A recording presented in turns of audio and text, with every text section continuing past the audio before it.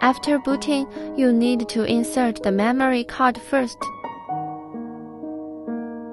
Power on, long press the power on button. Click the button to take a picture.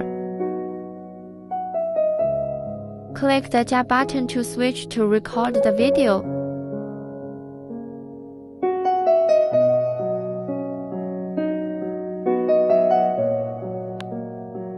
Double-click the 加 button to view pictures and videos.